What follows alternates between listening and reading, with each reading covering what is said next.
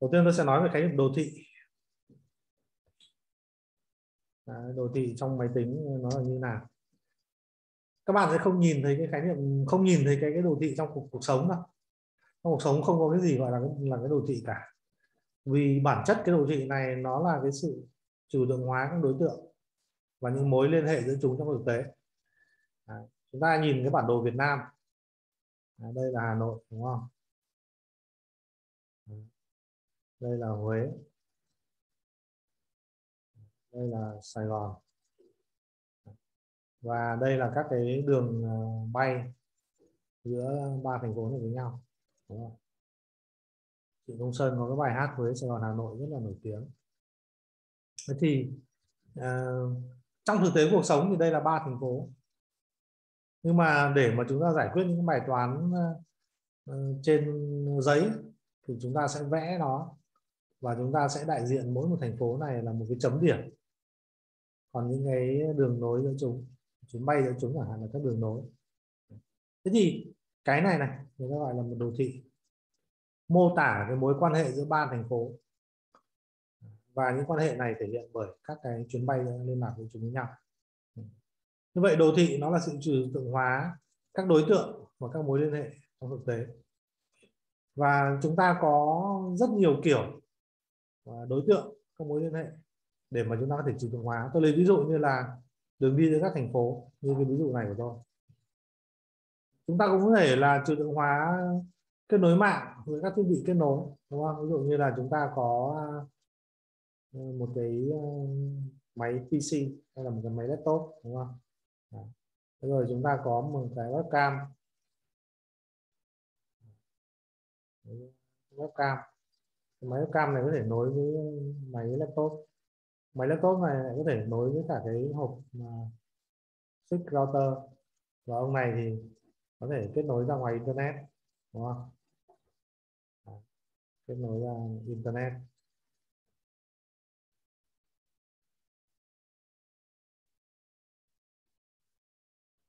Đấy. thế thì những cái ờ, này về mặt sơ đồ thì nó như thế, nhưng mà đối với những người mà quan tâm đến chuyện là cái chuyện kết nối thì mỗi này những người biểu thị thành một chấm điểm. Và cái sự kết nối này là các đường. Hoặc là những cái đường điện ở trong khu vực chẳng hạn. Đấy. chúng ta cũng có thể biến nó thành một cái đồ thị gồm những cái nút đấu nối điện đúng không? Những cái chạm à, công tơ chạm biến áp biến thế.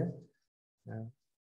thế rồi những cái thiết bị sử dụng điện những cái nguồn cấp và các đường nối hoặc là những mối quan hệ cá nhân trên mạng xã hội chẳng hạn. Tất cả những cái này bản chất chúng ta có thể trừ lượng hóa của nó về dạng đồ thị. Trong cái sự trừ lượng hóa đó thì chúng ta sẽ biến các đối tượng thành các đỉnh trên đồ thị. Còn các mối quan hệ hay là các sự kết nối thì nó thành các cạnh hoặc là các cung. Người ta dùng từ cạnh có nghĩa là, là mối quan hệ này là quan hệ hai chiều. Có cả chiều đi đến chiều về.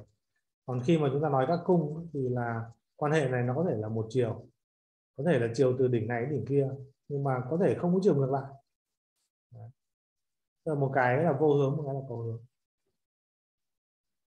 Thế thì cái um, cái sự trừu tượng hóa, các cái khái niệm này thì nó đem lại cái điều gì hay và điều gì dở?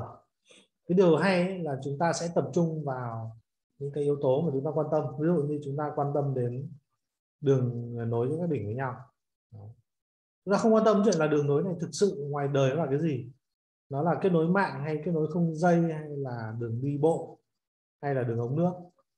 Chúng ta chỉ quan tâm chuyện là ai này có kết nối không thôi và chúng ta cũng không quá quan tâm đến cái chi tiết là cái, cái, cái đỉnh này nó là cái gì. Mà chúng ta phải quan tâm chuyện là các đỉnh có nối được với nhau hay không. Như vậy khi mà chúng ta dùng khái niệm đồ thị là chúng ta quan tâm đến các cái sự kết nối giữa các đối tượng. Đúng không? Chúng ta tập trung vào cái mối quan hệ chính của chúng như vậy.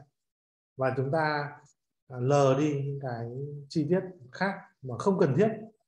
Ví dụ như là cái việc mà à, đường kết nối đường điện chẳng hạn, hay là mối quan hệ với các cá nhân chẳng hạn, thì cái chuyện tên của cá nhân nó không quan trọng. Quan trọng là cái hai cá nhân nó có kết nối với nhau hay không thôi. Đấy. thế bây giờ chúng ta à, nói kỹ hơn về khái niệm đồ thị trong trong toán hay là trong tin học. Đấy đồ thị, bản chất nó là các đỉnh cộng với các cung nối chúng với nhau. Thường người ta biểu thị đồ thị bằng cái cặp gọi là VE đấy. trong đấy V là gì? V là vertex tức là tập các đỉnh. E là edge là tập các cung. Còn G là viết tắt của chữ graph, là đồ thị. Ờ, trong toán ấy, thì người ta có thể bố trí viết đồ thị như này và người ta có thể đánh số ờ, các đỉnh. Hoặc là người ta có thể đặt tên ông này là A ông này là B ông này là C gì gì đấy vân vân. Thế còn trong lập trình ấy, trong lập trình thì thường là chúng ta đánh số các đỉnh từ 1 đến n hoặc là từ 0 đến n trừ 1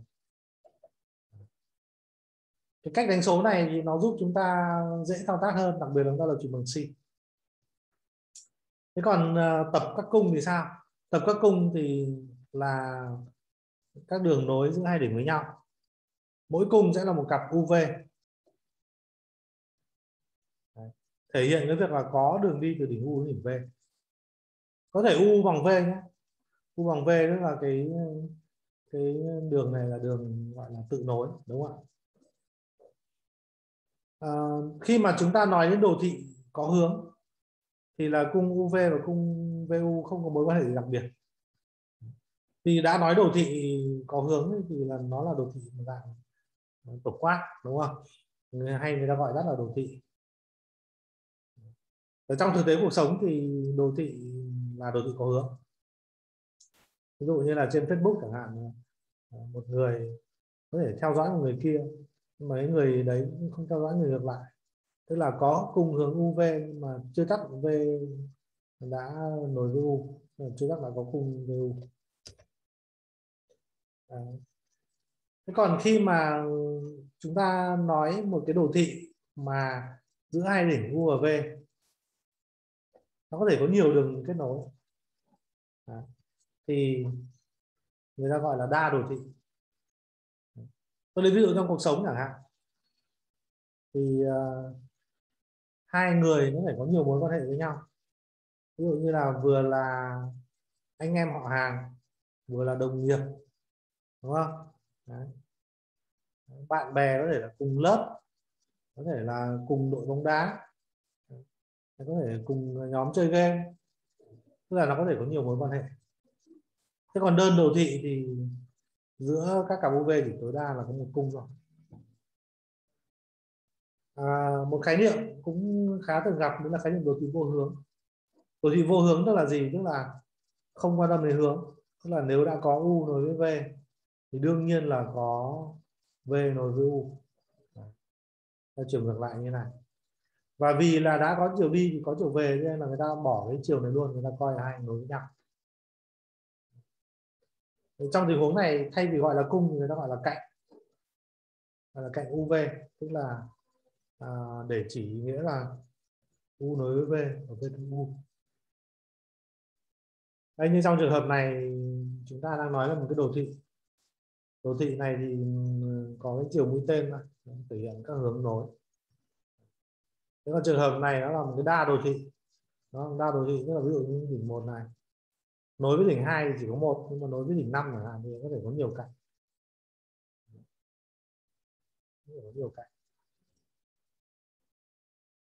Đây toàn là những khái niệm mà các bạn đã có thể đã gặp trong môn môn, môn toán rời rạc rồi. À, khái niệm ờ, một khái niệm một tiếp theo ờ, các bạn cần nhớ là khái niệm đỉnh kề.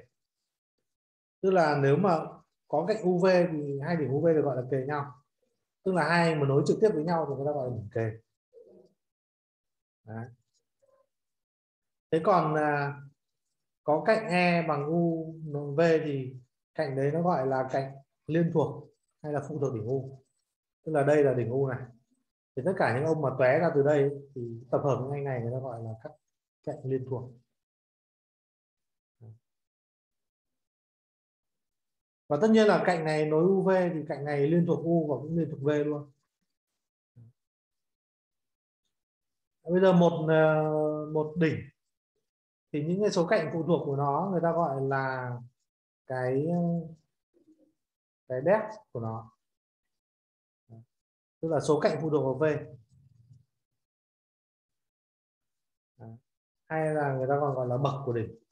Như vậy một đỉnh này mà có nhiều nhiều ông phụ thuộc nhiều ông liên thuộc thì nó đỉnh bậc của càng cao đúng không?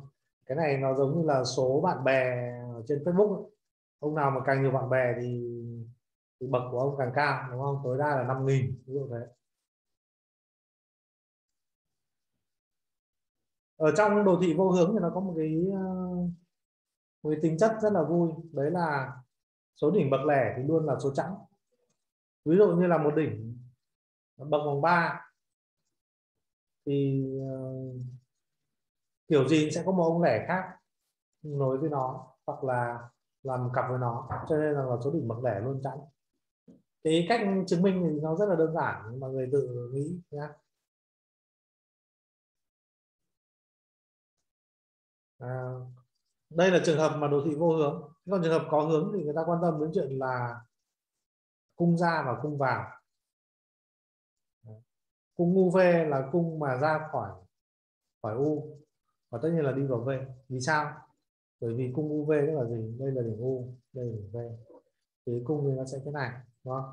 Tức là đi khỏi U vào V. Thì người ta gọi là đét cộng là là cái số cung ra còn đét trừ là số cung vào và à, tổng các cái đắc cộng và đắc trừ luôn luôn bằng nhau. Lý do là vì sao? Lý do là vì chúng ta xét một cung. Thì một ông đã ra một khỏi một ông thì sẽ vào một ông khác. Nên đương nhiên là đã tăng cái đét thì cũng sẽ tăng cái thằng đét trừ. Tăng đét cộng thì sẽ tăng đét trừ. Nên là tổng các đét cộng và đét trừ luôn bằng nhau. Đấy. Đây là trong trường hợp mà chúng ta quan tâm đến ờ, chỉ quan tâm chuyện là có kết nối không thôi. Nhưng mà đôi khi cái kết nối này nó có thể có những cái ờ, ý nghĩa khác nhau. Ví dụ như là ở trên Facebook chẳng hạn, hai ông có kết nối với nhau nhưng mà nó là quan hệ bình thường hay là quan hệ thân thuộc, có trọng số. Thì trường hợp mà một cái đồ thị mà các cung nó có trọng số thì người ta gọi là đồ thị trọng số. Đồ thị bình thường là chúng ta phải quan tâm chuyện là có kết nối hay không kết nối không thế nhưng mà cái đồ thị mà chúng ta quan tâm đến cái chuyện là cái kết nối đấy giá trị bao nhiêu, thì nó gọi là đồ thị trọng số. Đồ thị trọng số trong thực tế cuộc sống nó quan trọng hơn rất nhiều. Ví dụ như là bây giờ các bạn ờ, quay trở lại cái cái câu chuyện Huế Sài Gòn Hà Nội này. Thì rõ ràng là đi từ Hà Nội đến Huế thì chỉ khoảng 650 cây thôi. Nhưng mà đi từ Hà Nội đến Sài Gòn thì khoảng 1.500 cây thế thì chi phí đi từ Hà Nội đến Huế, cao hơn chi phí đi từ Hà Nội đến Sài Gòn rất nhiều. Mặc dù hai anh đều chỉ là một kết nối, có kết nối, nhưng mà rõ ràng cái trọng số này thấp, trọng số này cao, đúng không? Anh vận chuyển một món hàng từ Huế ra Hà Nội khác với ở chuyện từ Sài Gòn ra Hà Nội. Tính giá tiền vận chuyển hàng hóa nó cũng khác nhau, đúng không? Cho nên rằng là ở đây chúng ta thấy một điều là trong thực tế cuộc sống thì cái đồ thị nó trọng số này là cái mà được quan tâm nhiều hơn.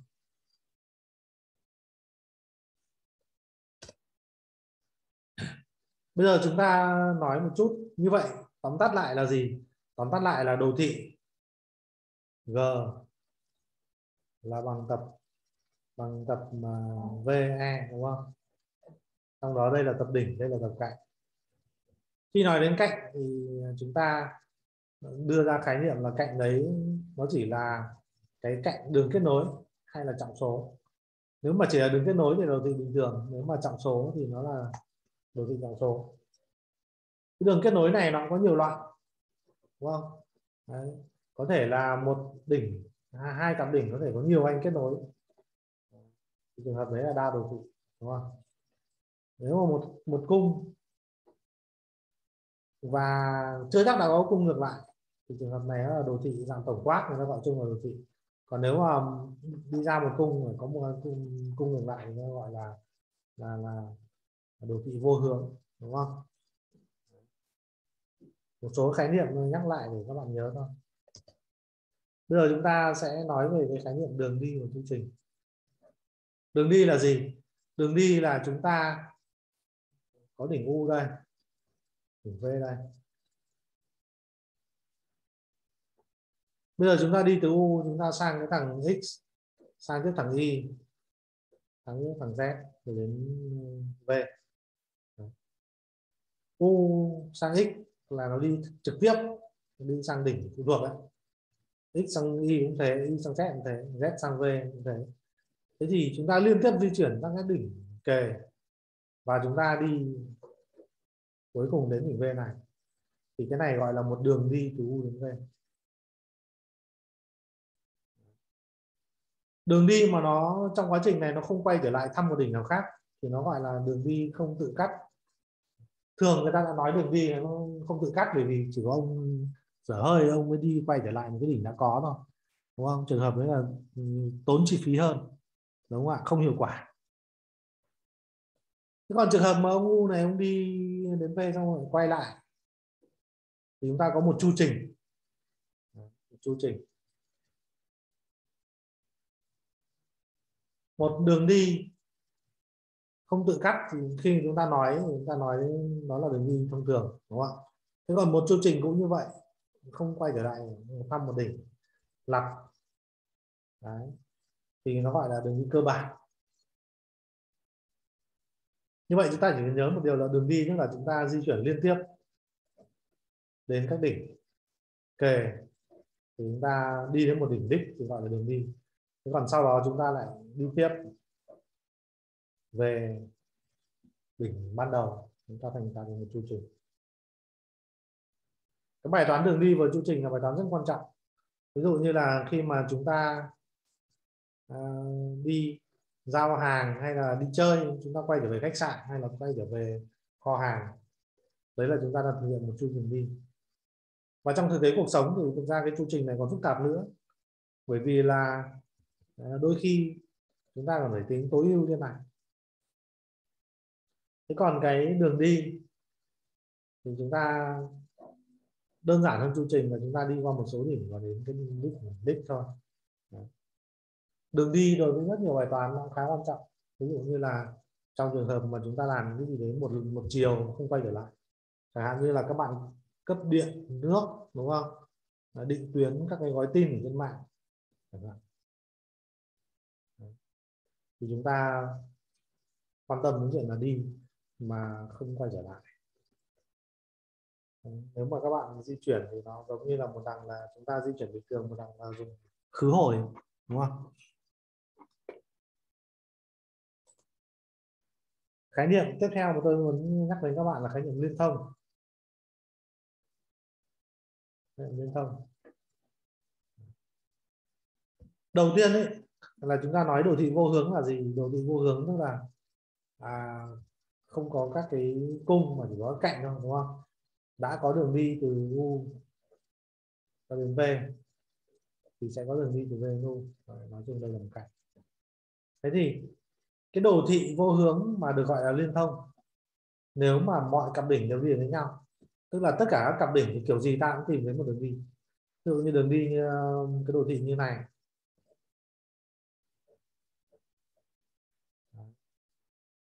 thì nó gọi là liên thông. Nhưng mà đến đây chẳng hạn nó là liên thông nhưng mà tự nhiên có một ông server ở đây hai ông này đối với nhau. Thì cái đồ thị này nó không còn là liên thông nữa. Vì sao? Vì hai cặp này đến nhau nhưng mà từ đây không có đường đi đến đây. Đúng không ạ?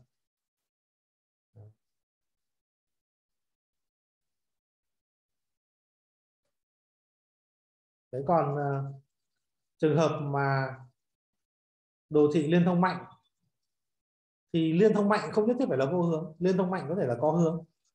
Nhưng mà mọi đường đi thì đều có đường đi đến nhau. Tôi lấy ví dụ như đồ thị như này.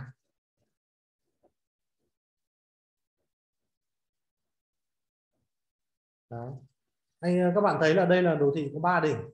Ba đỉnh đấy người ta không nhất thiết là là vô hướng, bởi vì nó có hướng đây đúng không? Nhưng mà một cặp đỉnh bất kỳ đều có thể đi đến một cặp đỉnh kia, đều có thể đi đến nhau được từ đây một, hai, ba là có một liên hai được, có một liên ba được. Ông hai đi đến một được bằng cách đi vòng qua ba. Hai đi đến ba được, ba đi đến một được, ba đi đến hai được. Đấy. Thì trường hợp này gọi là liên thông mạnh. Thế còn anh liên thông tức là anh phải vô hướng. Thế còn trường hợp còn đồ thị nó gọi là liên thông yếu nữa. Liên thông yếu tức là khi chuyển về vô hướng thì nó là đồ thị liên thông. Chẳng hạn như là đồ thị như này. Đấy, chẳng hạn. Thì không hề liên thông mà không liên thông mạnh bởi vì ông này không đi được đến đây. Nhưng nếu mà chúng ta chuyển về vô hướng thì ông này trở thành đồ thị liên thông yếu. Đồ thị liên thông nên nó gọi là liên thông yếu. Thế còn một dạng trường hợp nữa nó gọi là đồ thị đầy đủ. Đầy đủ tức là mọi cái đỉnh đều kề nhau tức là mọi cặp đều nối với nhau. Ví dụ chúng ta có một cái bàn tiệc đúng không? Có bốn ông ngồi với nhau. A, B CD hả? ông A quen ông B ông B quen ông C ông C quen ông D. Đấy, thì giới thiệu lẫn nhau thì cuối cùng là ông A sẽ quen ông D. Nhưng mà quen như này là gọi là quen qua người khác. Thế nhưng mà nếu mà mấy ông này đều quen lẫn nhau luôn trực tiếp với nhau luôn thì nó thành đồ thị đầy đủ. Mọi các đỉnh đều được kề nhau. À, cái trường hợp bài toán liên thông này nó rất là quan trọng trong đặc biệt là trong trường hợp là mạng hay là trong trường hợp mà ngày xưa chiến tranh. À, nếu mà một cái đồ thị mà liên thông thì chúng ta có thể vận chuyển hàng hóa đến các điểm từ các điểm lẫn nhau. Đấy. rồi chúng ta giữ được giao thông liên lạc thông suốt với nhau. Thế nhưng mà nếu mà đồ thị mà không liên thông thì ừ, chúng ta sẽ mất liên lạc ở một số điểm đúng không? Ví dụ như là Hà Nội chẳng hạn. Ở đây bình thường kết nối vào miền Trung kết nối ở miền Nam đúng không? Mỹ bây giờ nó đánh bom cái điểm này tan nát này. Ông Hà Nội không kết nối vào đây được. Thì lúc này ông miền Nam coi như là không thể hoạt động theo chỉ đạo của miền Bắc được. Đấy. thế thì ờ, cái chuyện mà duy trì liên lạc, nó bản chất nó là bài toán là làm là để duy trì cái đồ thị liên thông, thế thôi. Còn ông Mỹ chẳng hạn, nếu ông tấn công chẳng hạn, ông phải tính là tôi tấn công nào để để tối ưu hóa lợi ích. Chẳng hạn tôi tấn công điểm này thì đảm bảo như là tất cả những ông khác là không Ờ, đồ thị này tê liệt Đấy. Cho nên rằng là gọi là liên thông rất đơn giản nhưng mà bản chất nó nó là dùng trong chiến tranh rất là nhiều. Hoặc là bây giờ các bạn muốn tấn công hệ thống mạng của một doanh nghiệp. Đấy, các bạn cần tấn công vào một con router thôi toàn bộ hệ thống mạng treo hết. Thì đấy chính là bài toán duy trì cái hoạt động liên tục của một doanh nghiệp.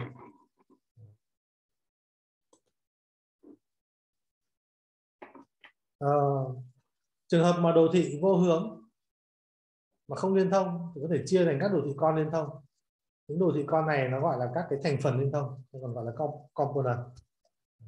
Đây, ví dụ trong tình huống này thì đây là một cái component này. đây là một thành phần liên thông này, đây là thành phần liên thông thứ hai.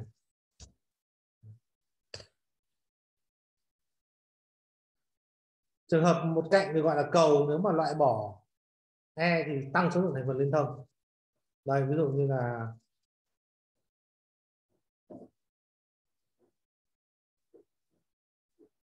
đây là một cầu. Một cầu vì sao? Vì nếu ta cắt cái cầu này đi, đúng không? Ta cắt đi. Thì ông này, số thành phần liên thông tăng lên thành hai. Bình thường nó đang là một thành phần liên thông, đúng không? Đây, này là cái cầu. Đấy. thế còn điểm khớp là gì? Điểm khớp là nếu mà ta loại bỏ nó thì tăng thành phần. Ví dụ ta đây là một điểm khớp này. ta cắt ông này thì số lượng thành phần liên thông tăng. Đây là một điểm khớp. Điểm khớp với cầu là bài toán rất quan trọng đúng không? Mỹ ông đánh bom ông đánh ở đây. Là ông này mất kết nối hoặc là đánh điểm này mất kết nối.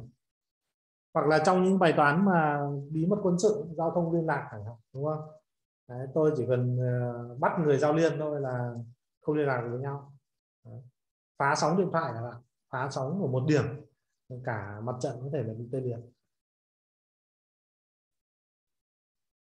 Đấy, thì dính dáng đến thành phần liên thông này chúng ta có rất nhiều bài toán thú vị.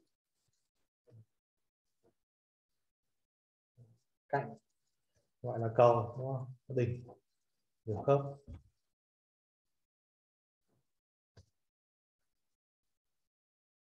Một số loại đồ thị đặc biệt đồ thị thứ nhất là đầu tiên gọi là đồ thị hoàn thiện. Đấy. Tức là đồ thị, cái này vừa nói xong rồi, đồ thị vô hướng và mọi các đỉnh đều được đều được đi trực tiếp với nhau thì gọi là đồ thị vô hướng. Tức là ông này đây, như ông này. Hoàn thiện. Đồ thị thứ hai nó gọi là biparty, tức là đồ thị hai phía. Thì là đồ thị này nó tồn tại một cái phép chia để mà thành hai tập mà không có kết nối nội bộ nhưng có kết nối lẫn nhau Đấy. tức là tôi có thể chia cái đồ thị này làm đôi Đấy. mà không có, đây, ví dụ như là tôi chia như này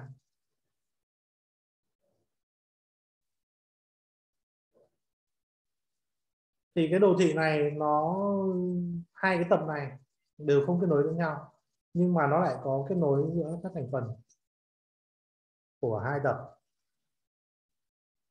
Nó gọi đồ thị hai phía. Đồ thị hai phía sử dụng rất nhiều trong tình huống mà chúng ta muốn tăng cường các cái liên kết giữa hai bộ. Ví dụ như là bây giờ các bạn muốn ờ, kết nối giữa hai cái ờ, miếng ghép chẳng hạn. Đấy, thì các bạn tìm cái đồ thị hai phía các bạn tạo cái ừ, kết nối. Thì nó sẽ là phương án tối ưu nhất. Đấy, không bị thừa đồ thị phẳng lana. Lana gap đồ thị phẳng là gì? Là đồ thị có thể vẽ trên một mặt phẳng sao cho là các cạnh không cắt nhau tức là chỉ giao nhau tại những cái đầu mút thôi. Đây là một đồ thị phẳng cái bài toán đồ thị phẳng là bài toán cực kỳ đúng vị.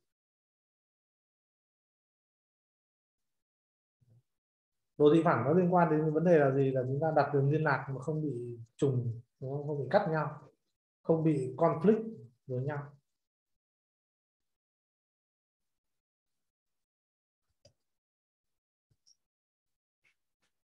Ok. Đấy là một số loại đồ thị như vậy ờ, những cái khái niệm này thì là những khái niệm nhắc lại. Bây giờ chúng ta nói về biểu diễn đồ thị trong máy tính. Tức là gì? Vừa nãy là chúng ta vẽ thấy rất đẹp rồi nhưng vấn đề là bây giờ chúng ta sẽ biểu thị nó trong máy tính là làm sao. Thì thứ nhất ấy, chúng ta để ý thấy một điều là này này. Là chúng ta không quan tâm đến cái cái chuyện là cái cái đồ thị này đỉnh nó tên là gì đúng không? Biểu diễn.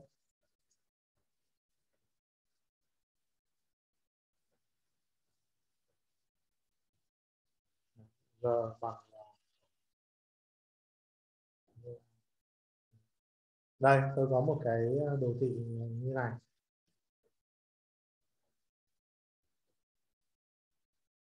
Một,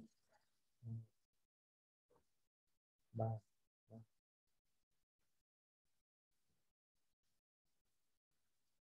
oh.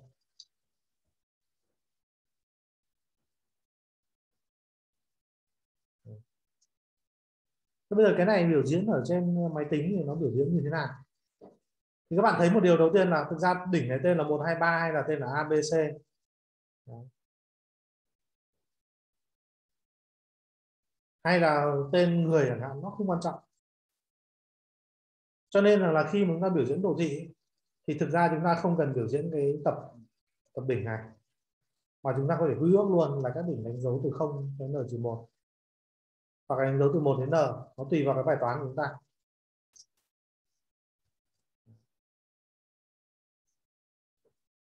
Đánh số thứ tự các đỉnh chúng ta đánh từ 1 đến n hoặc là từ 0 đến n đến một.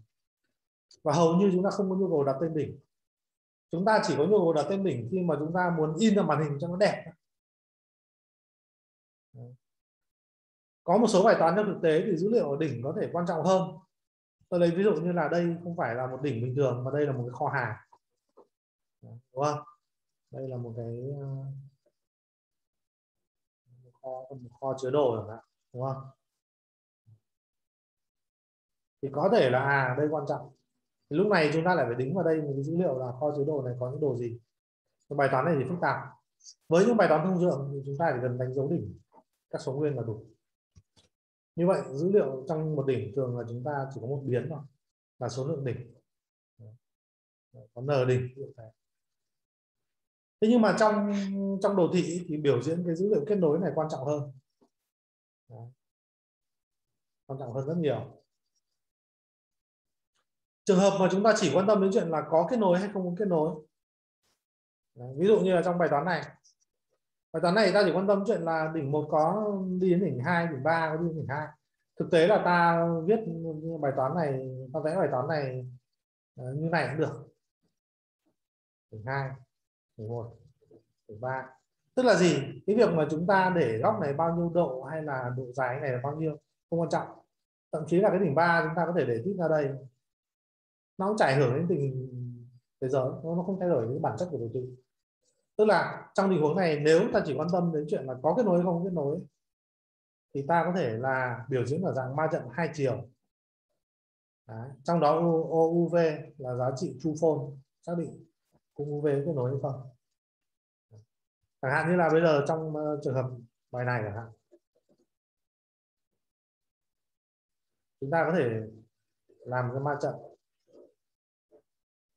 đỉnh một đỉnh hai đỉnh ba.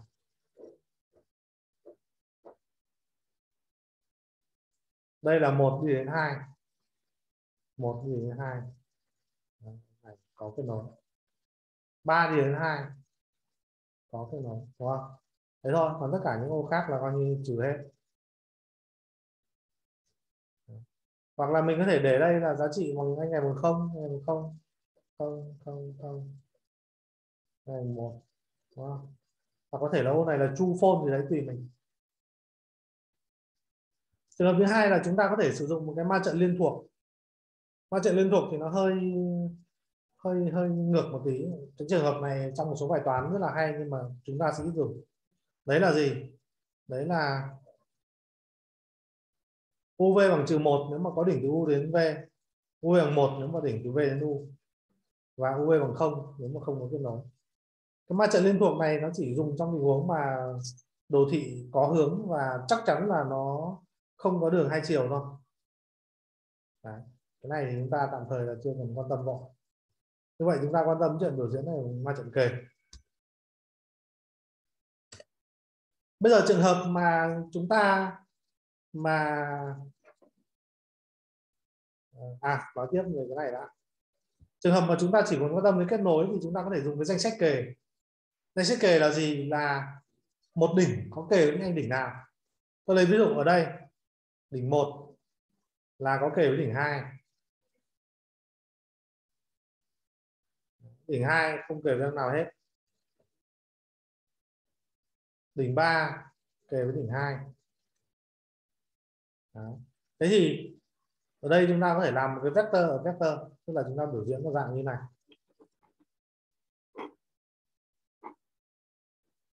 Chúng ta biểu diễn một cái vector như này ví dụ đỉnh uh,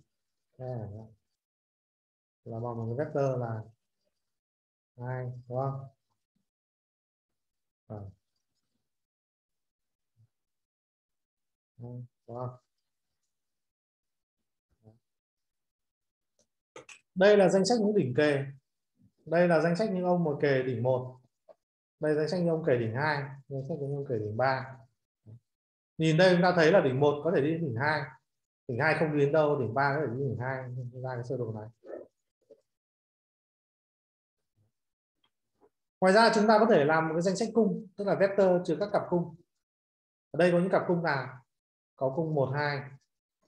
Có cung ba, hai. Như vậy chúng ta biến cái này thành một cái vector như sau. Vector của chúng ta sẽ là e sẽ là như này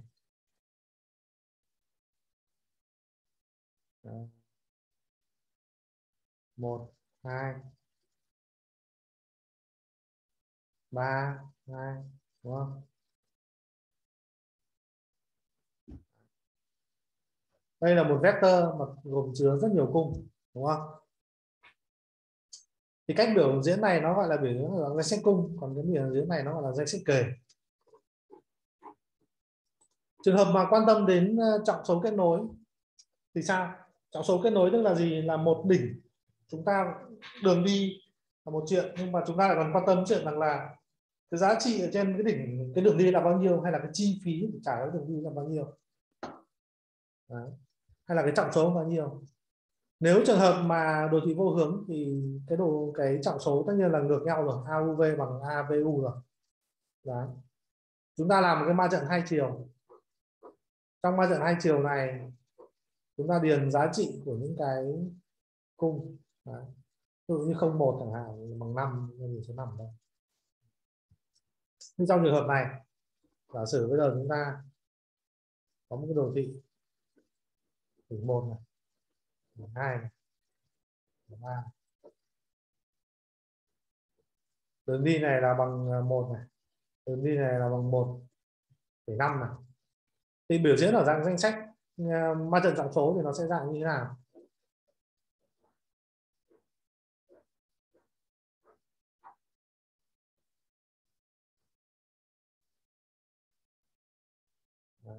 Từ 1 đi đến 2 là độ dài 1 3 đi đến 2 là 1,5 1 đi đến 1 là bằng 0 hoặc là bằng không có cũng được. Chúng ta có thể xóa đi.